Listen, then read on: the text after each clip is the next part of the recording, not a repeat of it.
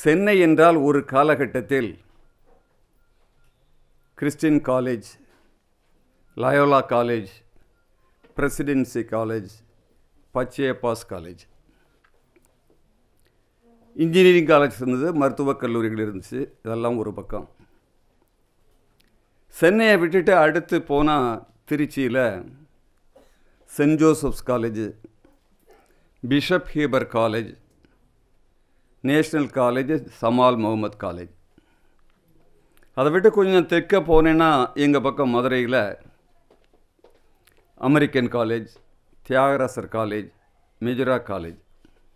அங்கே ஒரு மருத்துவக் கல்லூரி இருக்குது அதை தாண்டி நான் தென்பக்கத்தில் போனீங்கன்னு சொன்னால் பேராசிரியர் அமலதா அமலநாதன் பணியாற்றக்கூடிய saint Xavier's college gen John's college MDT Hindu college Sarah Tucker college கடைசி ஓரத்துக்கு போயிட்டீங்கன்னு சொன்னால் அங்கே எனக்கு தெரிய எஸ்டி ஹிண்டு காலேஜ் கிறிஸ்டின்ஸ் காலேஜும் இருந்திருக்கலாம். ஆனால் பெரும்பாலும் அதாவது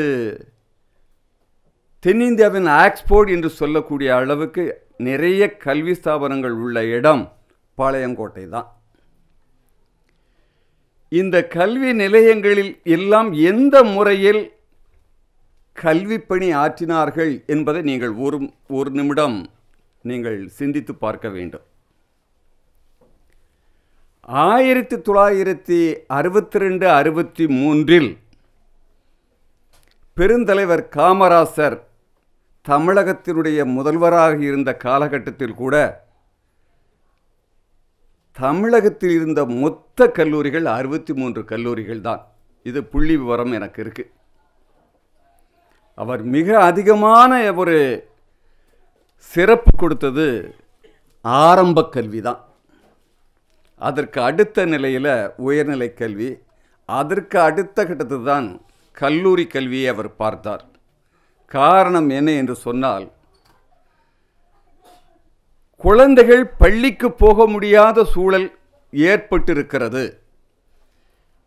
அவர்கள் சாப்பிடுவதற்கு கூட உழைக்க வேண்டியதிருக்கிறது இந்த உழைப்பாளிகளினுடைய குழந்தைகளுக்கு பாட்டாளிகளினுடைய குழந்தைகளுக்கு படிப்பு தர வேண்டும் என்ற ஒரு நல்ல எண்ணத்தோடு தான் அவருடைய கல்வி அணுகுமுறை இருந்தது. ஏனால தான் அவரை வந்து கல்வி கண் திறந்த காமராசர் என்று பாராட்டுகின்ற ஒரு நிலையை நம்ம பார்க்குறோம். அவர்களுடைய காலகட்டத்தில் சென்னை பல்கலைக்கழகம்தான். மதுரை பல்கலைக்கழகம் கூட அவருடைய ஆட்சியினுடைய காலகட்டத்தில் இல்லை. அவர் ஆயிரத்தி தொள்ளாயிரத்து ஐம்பத்தி நாலு ஆயிரத்தி தொள்ளாயிரத்து அறுபத்தி மூணு என்று சொல்லக்கூடிய ஒன்பது ஆண்டு காலம் தமிழகத்தினுடைய முதல்வராக இருந்த காலம். சென்னை பல்கலைக்கழகத்துக்கு அடுத்த பல்கலைக்கழகமாக தமிழகத்தில் இரண்டாவது பல்கலைக்கழகமாக ஆயிரத்தி தொள்ளாயிரத்தி அறுபத்தஞ்சில் மதுரை பல்கலைக்கழகம் வந்துச்சு. இந்த கல்வி முறை மக்களுக்கான அல்லது மாணவர்களுக்கான அல்லது முன்னேற்றத்திற்கான கல்வி முறையாக இருந்தது என்பதை மாற்று கருத்து இல்லை. மாற்று கருத்து நீங்கள் சொல்லவும் முடியாது. அன்றைக்கு இருந்த அரசியல் ஆளர்களாக இருந்தாலும் சரி கல்வியாளர்களாக இருந்தாலும் சரி கல்வி ஏழை எளிய மாணவனுக்கு போய் சேர வேண்டும் என்ற நோக்கத்தோடு பணியாற்றினார்கள். ஆகவே அந்த கல்வி முறை மாணவர்களுக்கான ஏழை எளியவர்களுக்கான ஒடுக்கப்பட்ட மாணவர்களுக்கான ஒரு முன்னேற்றத்திற்கான கல்வி முறையாக இருந்தது என்பதில் மாற்று கருத்து இல்லை. இது ஆயிரத்தி தொள்ளாயிரத்தி எழுபது வரைக்கும் வேணாலும் வச்சுக்கோங்க. ஆயிரத்தி தொள்ளாயிரத்தி எண்பதுகளில் மிகப்பெரிய ஒரு மாற்றம் நான் என்னைய பொறுத்தளவில் ஒரு சீரழிவுன்னு கூட நான் சொல்லுவேன். முன்னாள் முதல்வர் எம்ஜிஆர் தமிழகத்தினுடைய முதல்வராக இருந்த காலகட்டத்தில்தான் மிக அதிகமான மெட்ரிகுலேஷன் ஸ்கூல்ஸும் செல்ஃப் ஃபைனான்சிங் காலேஜஸும் வந்ததுங்கிறது உண்மை. இவருடைய காலகட்டத்தில் தான் கல்வி வியாபார பொருளாக மாறியது. நான் சொல்ல வந்த செய்தி அதுதான். கல்வி வியாபார பொருளாக மாறிய காலகட்டம் ஆயிரத்தி தொள்ளாயிரத்தி எண்பதுகளில்.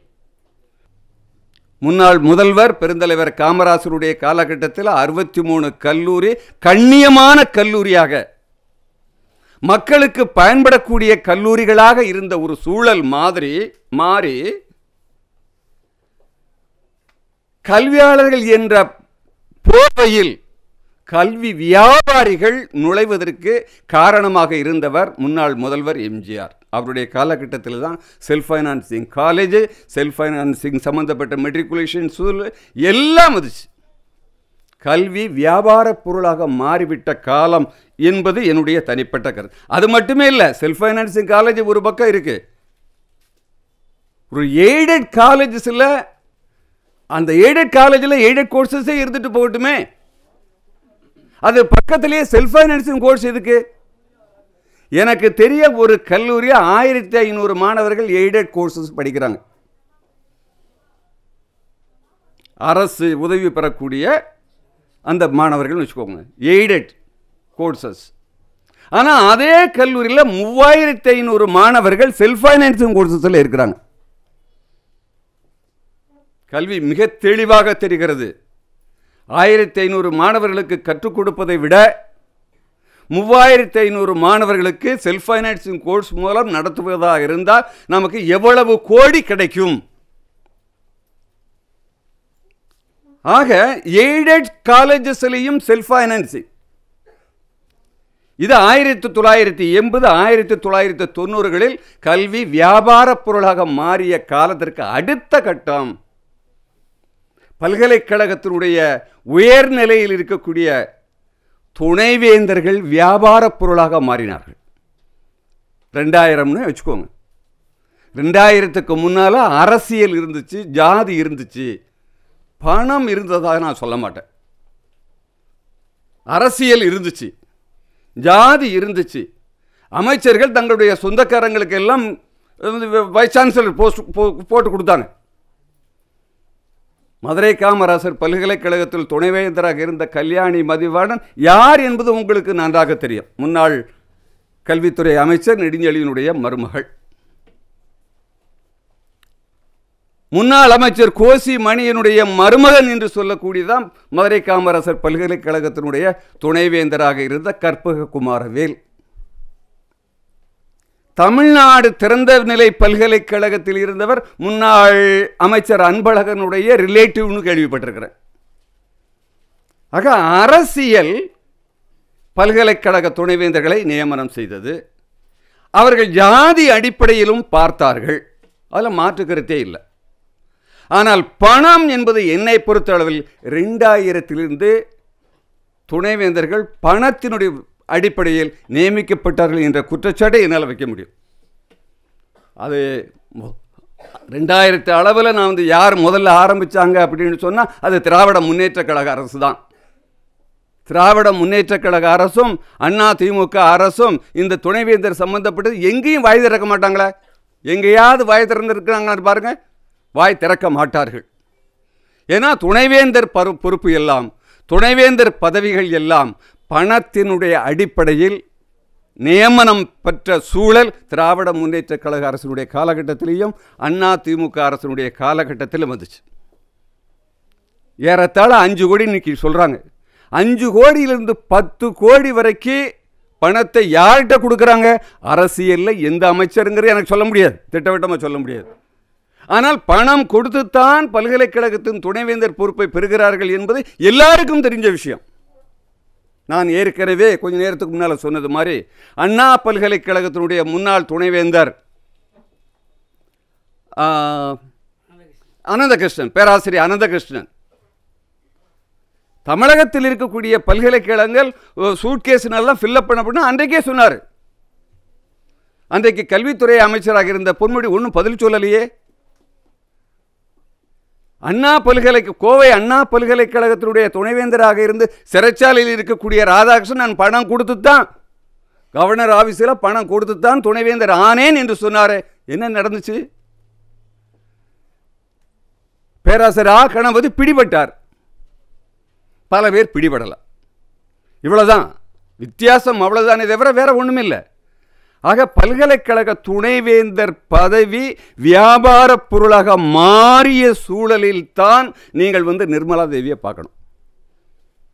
கண்ணியமான நேர்மையான திறமையான தரமான பேராசிரியர்கள் பல்கலைக்கழகத்தின் துணைவேந்தராக வந்திருந்தால் இந்த மாதிரி ஒரு பல்கலைக்கழக சீரழிவை பார்க்கவே முடியாது.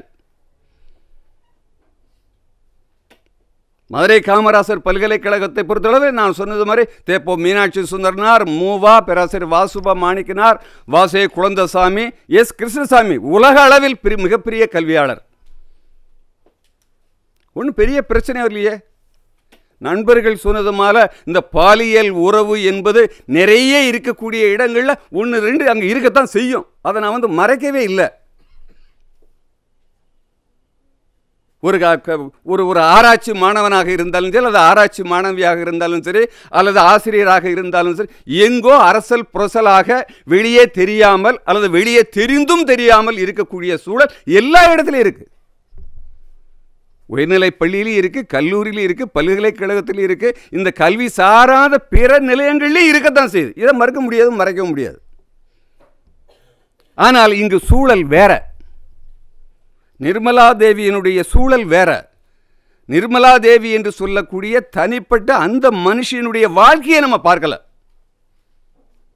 அதனுடைய வாழ்க்கையை பார்த்தேன்னு சொன்னால் கொஞ்சம் அதை அதை சொல்கிறது கொஞ்சம் அந்த ஆடியோ டேப்பை கேட்டாச்சுன்னு சொன்னால் கொஞ்சம் அருவறுப்பாக இருக்கு. அருவறுப்பாக இருக்கு. என்னுடைய பார்வையில் அது ஒரு அருவருப்பான ஒரு ஆடியோ டேப்பு தான் பேசின முறைகளையெல்லாம் பார்த்தால். யாரோ பேசுன மாதிரி பேராசிரியர் சொல்கிறதுக்கு கொஞ்சம் நான் கூசுது. அந்த அசோசியேட் ப்ரொ அசோசியேட் ப்ரொஃபஸர் அல்லது அசிஸ்டன்ட் ப்ரொஃபஸர் இன் மேத்ஸ் என்று சொல்லக்கூடிய நிர்மலா தேவி தேவாங்கர் கலைக்கல்லூரியுடைய நிர்மலா தேவி அந்த நிர்வாகத்தில் இருக்கக்கூடிய ஒரு செல்வாக்கு மிக்க ஒரு அம்மாவாக இருந்திருக்கிறாங்க. அது எப்படி இருந்தாங்கங்கிறத நீங்கள் தான் புரிஞ்சுக்கணும். அப்போ அந்த சூழலில் பல ஆசிரியர்கள் பாதிக்கப்படுகிறார்கள். ஒரு கல்லூரியில் அந்த அம்மாவால் பாதிக்கப்பட்ட ஆசிரியர்கள் அங்கே இருக்கிறாங்க. இப்போ இதுக்கு என்ன சொல்கிறாங்கன்னா நான்கு நிலையில் இந்த ஆடியோ டேப் வெளியே வந்திருக்கலாம். ஒன்று நிர்வாகம் நிர்வாகத்துக்கு எதிரான இன்னொரு குரூப் இந்த நிர்வாகத்தை எப்படியாவது மாட்டிவிட வேண்டும் என்ற காரணத்தினால் இந்த ஆடியோ டேப் வெளியே வந்திருக்கலாம்ங்கிற ஒரு கருத்து.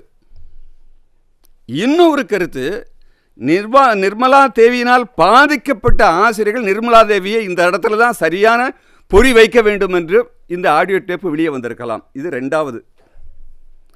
மூணாவது அங்கு பல்வேறு கல்லூரிகள் புது கல்லூரிகள் முளைத்து விட்டன. ஏற்கனவே இருக்கக்கூடிய எஸ்பிகே காலேஜ் இருக்குது தேவாங்க ஆர்ட்ஸ் காலேஜ் இருக்குது மதுரை காமராஜ் யூனிவர்சிட்டியினுடைய கான்ஸ்டிடியூவன்ட் காலேஜ் என்று சொல்லிய உறுப்பு கல்லூரி வேற இருக்குது இதை தவிர்த்து ரமணா காலேஜ்னு ஒரு பெண்கள் கல்லூரி கலைமகள்னு இன்னொரு கல்லூரி இன்னொன்று டால்ஃபினோ ஏதோ குளோபல் குளோபல்னு இன்னொரு கல்லூரி. அப்போ இதில் ஒரு ஒரு போ ஒரு ஒரு ஒரு ஒரு எதிர்ப்பு இந்த கல்லூரி நிறுவனங்களுக்கு இடை இருக்கக்கூடிய ஒரு எதிர்ப்பினால் இந்த இது வெளியே வந்திருக்கலாம். இது மூணாவது செய்தி. நாலாவது இது ஒரு அறச்சீற்றம். இதை வந்து வளர விடக்கூடாது என்ற நோக்கத்திலும் இது வெளியே வந்திருக்கலாம். ஆனால் இந்த நாளில் எதை பெரும்பான்மையோர் சொல் நினைக்கிறாங்க அப்படின்னு சொன்னால் நிர்மலா தேவியால் பாதிக்கப்பட்ட ஆசிரியர்களால் இந்த டேப்பு வெளியே வந்திருக்கலாம் என்ற ஒரு செய்தி தான் வரும் இது இந்த சூழல். இந்த நிர்மலா தேவி அருப்புக்கோட்டை கல்லூரியை மட்டும் மையம் கொள்ளவில்லை. இந்த புயல் அருப்புக்கோட்டை கல்லூரியை மட்டும் அல்லது தேவாங்கர் கலைக்கல்லூரி மட்டும் மையம் கொள்ளவில்லை. ஆனால் இந்த அம்மா வந்து ரெண்டாயிரத்தி எட்டில் தான் அப்பாயின்மெண்ட் இப்போ இன்றைக்கி வந்து ரெண்டாயிரத்தி பதினெட்டு. ஏறத்தாழ பத்து ஆண்டுகள். ஆனால் இந்த லீலைகள் எல்லாம் கடந்த பத்தாண்டு கதையை வந்து ஒரு மணி நேரத்தில் சொல்ல முடியுமான்னு அந்த நிர்மலா தேவி சொன்னாங்கன்னு சொன்னால் இந்த பத்தாண்டுகள் அது என்ன தொழில் பண்ணியிருக்கோம் அது assistant professor of maths in Devanga arts college குடும்பத்தில் நல்ல உறவு இல்லை. ஆனால் கண்ணியமான குடும்பம். என்னுடைய கணவர் ஒரு இன்ஜினியர் அவங்க கூட பிறகு எல்லாமே டாக்டர்ஸ் இன்ஜினியர்ஸ் என்னமோ இருக்கிறாங்க. ஆனால் இது இது விதி விலகி போயிருக்கு. ஆக அந்த நிர்வாகத்தில் வந்து அது ஒரு டாமினேட் பண்ணியிருக்கு. இந்த நிர்வாகம் என்னை முழுமையாக பயன்படுத்தி கொண்டது என்ற கூ- கூற்றும் அங்கே இருக்குது இந்த நிர்வாகம் என்னை அதனுடைய வளர்ச்சிக்கு பயன்படுத்தி கொண்டது. அப்போ இங்கே தான் நம்ம ப்ரைவேட்டைசேஷனுங்கிற ஒரு கருத்தையும் நம்ம முன்வைக்கிறோம். ஒரு நிர்வாகம் வளர்வதற்கு எதை பயன்படுத்தக்கூடாதோ அதை பயன்படுத்தி இருக்கிறார்கள் நிர்மலா தேவிக்கும் பல்கலைக்கழகத்துக்கும் நெருங்கிய உறவு இருந்திருக்கிறது. நிர்வாகத்தினுடைய அடிப்படையில் நீ தேவாங்கர் கலைக்கல்லூரிய நிர்வாகத்துக்காக சில காரியங்களை சாதிப்பதற்காக நிர்மலா தேவி பல்கலைக்கழகத்துக்கு வந்திருக்கிறாங்கிற செய்தியை அவங்களே சொல்கிறாங்க ஆக பல்கலைக்கழகத்திற்கும் நிர்மலா தேவிக்கும் நெருங்கிய உறவு இருந்திருக்கிறது. கவர்னர் அலுவலகத்துக்கும் உறவு இருந்திருக்கிறது. கல்வித்துறைக்கும் ஒரு உறவு இருந்திருக்கிறது. ஆக நிர்மலா தேவி அருப்புக்கோட்டை கல்லூரி மதுரை காமராசர் பல்கலைக்கழகம் தமிழக அரசு தமிழக அரசு கல்வித்துறை ஆளுநர் அலுவலகம். நிர்மலா தேவி என்று சொல்லக்கூடிய புயல் மையம் கொண்டிருக்கக்கூடிய இடங்கள் இவை.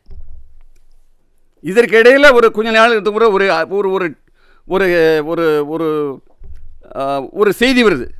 இதில் ஒரு எட்டு கோடி பின்புலம் இருக்குது அப்படிங்கிறாங்க.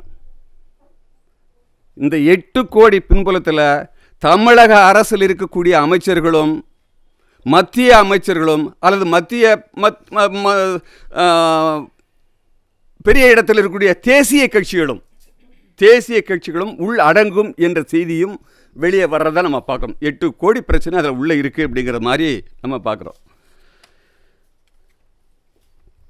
இந்த நிர்மலா தேவி மதுரை காமராசர் பல்கலைக்கழகத்தை பொறுத்தளவில் மூன்று கான்டெக்ஸ்டில் பல்கலைக்கழகத்துக்கும் அவங்களுக்கு ஒரு தொடர்பு இருக்குது ஒன்று தேர்வுத்தாள் திருத்தும் படிக்காக வந்திருக்கிறாங்க.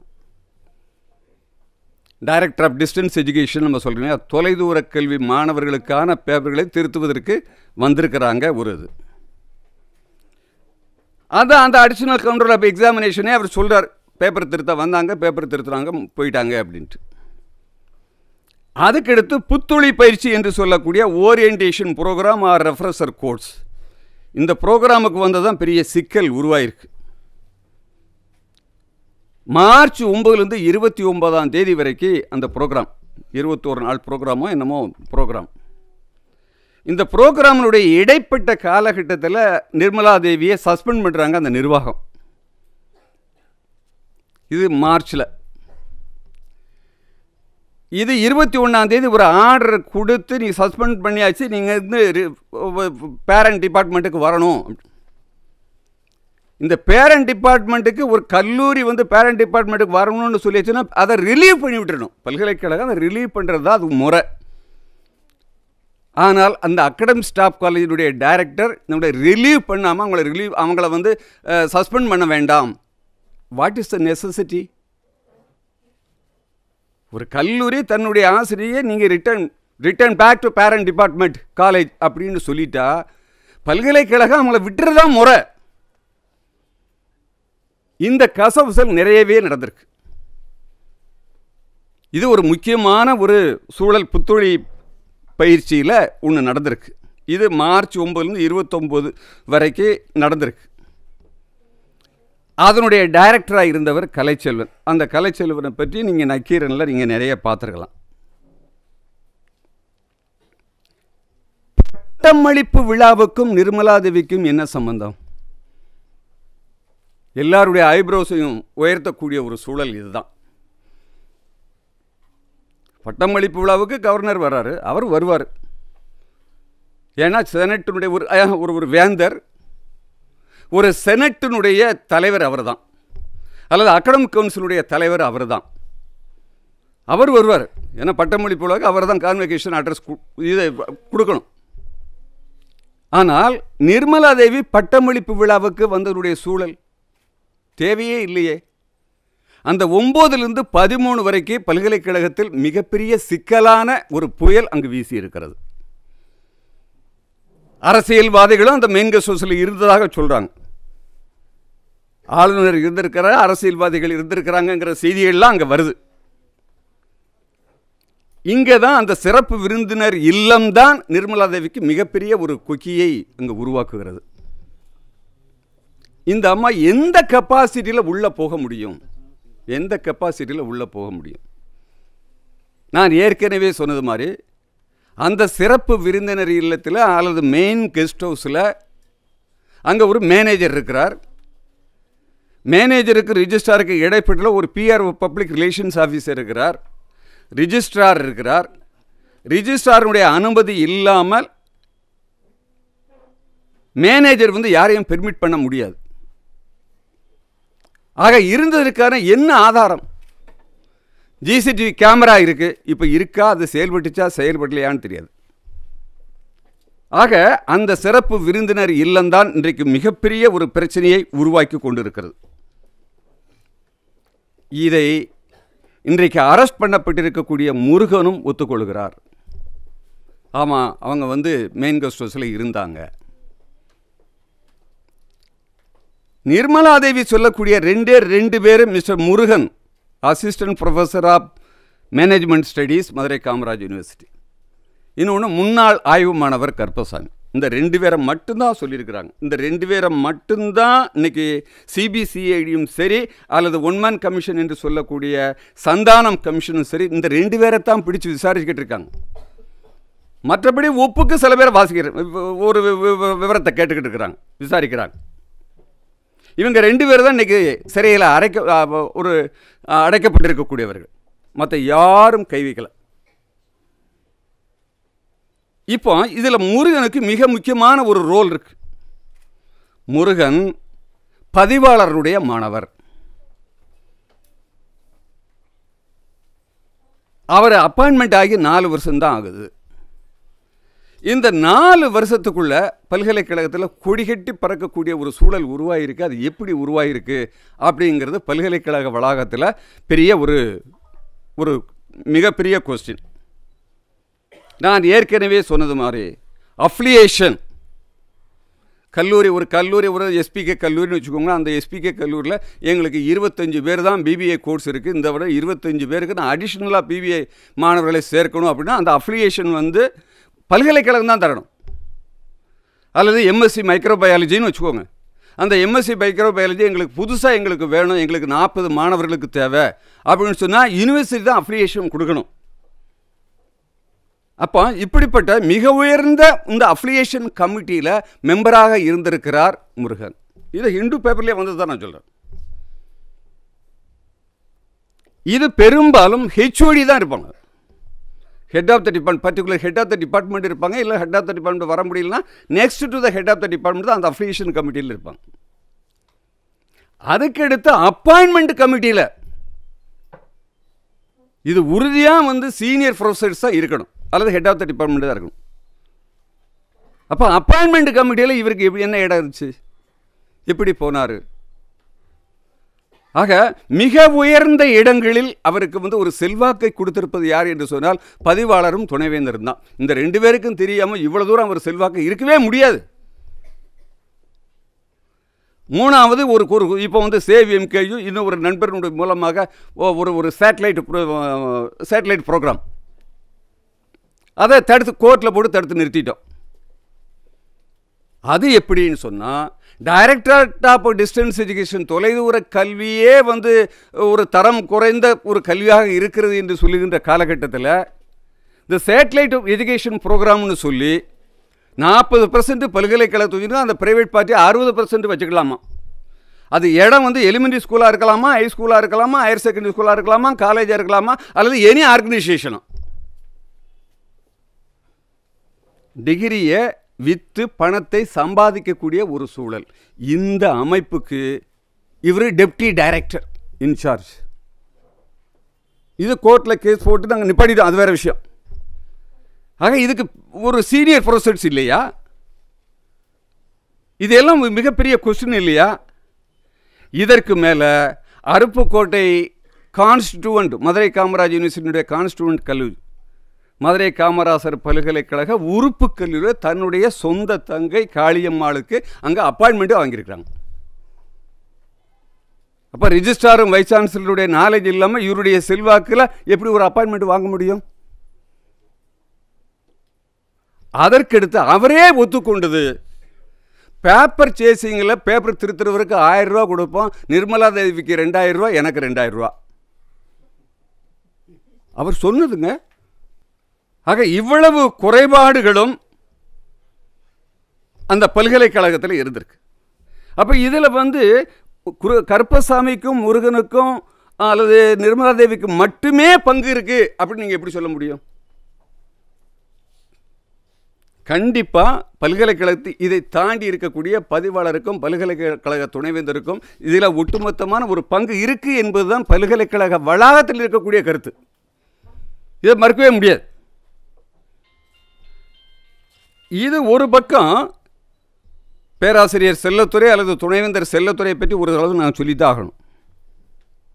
அவருடைய நியமனம் சரியான நியமனம் அல்ல. அந்த அப்ளிகேஷன் நூற்றி பன்னிரெண்டு அப்ளிகேஷன் அல்லது முருகதாஸ் அடிஷ்னலாக சேர்த்த முப்பத்தி ரெண்டு அப்ளிகேஷன் சேர்த்துட்டா நூற்றி நாற்பத்தி நாலு அப்ளிகேஷனில் முறையாக பரிசீலனை செய்யாமலே துணைவேந்தராக தேர்ந்தெடுக்கப்பட்டவர். அதுக்கு இந்த புஸ்தகம் இருந்துச்சுன்னா நீங்கள் படித்து பாருங்கள் ஆகாய தாமரைகளும் ஆகாத ஊருக்கு வழிகூ வழிகூறும் திசை காட்டிகளும் இவர் சர்ச் கமிட்டியினுடைய மெம்பராக இருந்த பேராசிரியர் மு. ராமசாமி எழுதியிருக்கிறார். இவர் என்னென்னலாம் தப்பு பண்ணியிருக்கிறாருங்கிறத உள்ளே எழுதியிருக்கிறார். ஆக ஒரு தகுதி இல்லாதவர் ஒரு பல்கலைக்கழகத்தினுடைய துணைவேந்தராக வருகின்ற போது தகுதி இல்லாத பல செய்திகள் பல சூழல்கள் உருவாகத்தான் செய்யும். ஒரு நேர்மையானவர் ஒரு துணைவேந்தராக இருந்தால் அந்த பல்கலைக்கழகம் நேர்மையானவராக இருக்கும். ஆனால் இவர் கையில் தான் எல்லாரும் என்ன வாங்குறாங்க? பட்டம் வாங்குகிறார்கள். நம்ம யார் ஒரு மனுஷன்ட்டு யார்கிட்ட பட்டம் வாங்குறதுக்குன்னு ஒரு தகுதி வேண்டாமா? இது ஒரு வேதனையான ஒரு விஷயம். இதில் ஒரு சர்ச் கமிட்டிகளை பற்றி ஒரு சில செய்திகள். சர்ச் கமிட்டினா ஒரு கவர்மெண்ட்டினுடைய நாமினி அல்லது கவர்னர் நாமினி ஒரு சிண்டிகேட் நாமினி ஒரு செனட் நாமினி இருப்பாங்க. மொத்தத்தில் மூணு பேர் இருக்கிற சில பல்கலைக்கழகங்களில் அஞ்சு பேர் இருக்கிறாங்க. இதில் எனக்கு தெரிய கவர்மெண்ட் அல்லது கவர்னர் நாமினி எந்த கேண்டிடேட்டை சொல்கிறாங்களோ அவங்க தான் வைஸ் சான்சலராக வருவாங்க. வந்திருக்காங்க. இந்த சர்ச் இது செனட் நாமினிக்கும் சிண்டிகேட் நாமினிக்கும் எந்த ரோலும் கிடையாது. அது எப்படி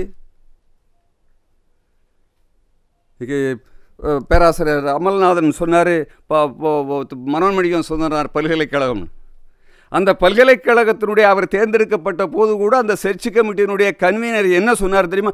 பாஸ்கரனை கவர்மெண்ட்டு சொல்ல சொல்லியிருக்கு. நான் வந்து அவர் ஒரு பேரை தான் நான் சொல்லுவேன். வேற எந்த பேரையும் சொல்ல மாட்டேனார் இன்றைக்கி அவர் வைஸ் சான்சலர் ஆக அரசாங்கம் அல்லது ஆளுநர் ஆஃபீஸிலிருந்து யாரை சொல்கிறார்களோ அவர் இதற்கு செனட்லேருந்து ஒரு ஒரு எலெக்ஷன் ஒரு சிண்டிகேட்லேருந்து ஒரு ஒரு எலெக்ஷன் தேவையில்லாத எலெக்ஷன் எதுக்கு?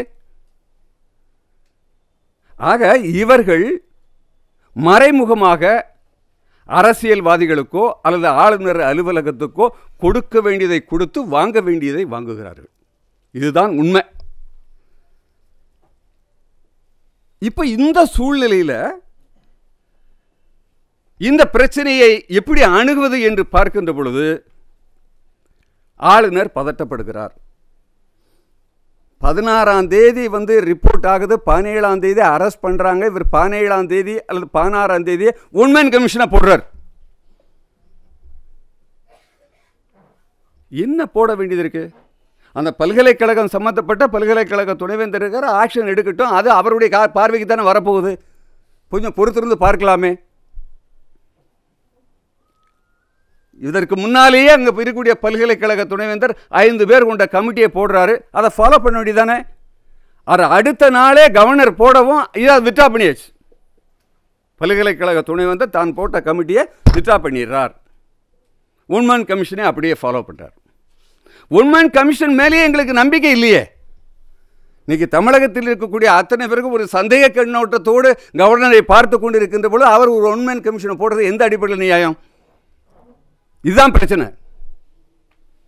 எனக்கு எழுபத்தெட்டு வயது ஆயிடுச்சு எண்பது வயது ஆயிடுச்சு என்ன whatever maybe the ages உங்கள் மேலே ஏதோ ஒரு பார்வை தவறான பார்வை வந்துருச்சுல்ல. தமிழக மக்களுடைய பார்வையில் இன்னைக்கு பன்வாரிலால் புரோஹித் வந்து ஒரு களங்கமான பார்வைக்கு உடையவர் தான். அவர் உண்மன் கமிஷன் போடுறார். இந்த என்னமோ ரிப்போர்ட் கொடுக்கவும் கணேசனுடைய ஒரு ஒரு ஒரு முயற்சியில் புரட்சிகர மாணவர் இளைஞர் முன்னருடைய முயற்சியில் கடுமையான முயற்சியில் குறைந்தபட்சம் அந்த ரிப்போர்ட்டை நீங்கள் சப்மிட் பண்ணக்கூடாது. அது ஓப்பன் பண்ணக்கூடாதுன்னு தடுத்து நிறுத்திருக்கு ஆனால் இதே இதை மதுரை காமராசர் பல் ம மதுரை கிளையில் அது கவர்னர் பார்த்து செய்யலான்ட்டாங்க ஜட்ஜ்மெண்ட் எப்படி இருக்குன்னு பாருங்க. ஆனால் ஒரு பத்து நாள் அல்லது பதினஞ்சு நாலாம் தேதி நினைக்கிறேன். பதினஞ்சு நாளைக்கு முன்னால் நடந்த நாங்கள் சேவ் எம்கியூ சார்பில் வந்து ஒரு மீட்டிங் போடுறோம். அந்த மீட்டிங்கில் ஃபார்மர் ஜட்ஜு ஹரிபிரந்தாமன் வந்து பேசுகிறாரு அவருக்கு எந்த ரோலும் கிடையாது. அவருக்கு எந்த ரைட்டும் கிடையாதுங்கிறார். ஒரு ஜட்ஜு சொல்கிறார் பல்கலைக்கழகத்தை பொறுத்தவரை அவர் கான்வெகேஷனுக்கு வந்துட்டு போகக்கூடியவர் தானே தவிர அவர் வந்து அரசியலில் விருதுநருக்கு போனேன் குடியாத்தத்துக்கு போனேன் விழுப்புரத்துக்கு போனேன். அது அவருடைய வேலையா? ஆயிரத்தி தொள்ளாயிரத்தி நாற்பத்தேழுலேருந்து ரெண்டாயிரத்தி பதினேழு வரைக்கும் இருந்த எந்த கவர்னரும் எந்த ஆளுநரும் இந்த வேலையை பார்க்கவே இல்லையே. ஆக இன்றைக்கு நடந்து கொண்டிருப்பது பிஜேபி ஆட்சியை தவிர அதிமுக ஆட்சி இல்லை. அது உங்களுக்கு நல்லாவே தெரியும். எதிர்ப்பு தெரிவிக்கலாமே? எதிர்ப்பு தெரிவிக்க வேண்டாம்னு யார் சொன்னது? யாரும் எதிர்ப்பு தெரிவிக்கலை. ஒரே ஒரு நாள் அமைச்சர் அன்பழகன் பேசினார் இது அவருக்கு தேவையில்லாத வேலைன்னு. அதுக்கு பிறகு அடங்கி போயிட்டார். அமைதியாயிட்டார். ஆக குட்மேன் கமிஷனில் நம்பிக்கை கிடையாது.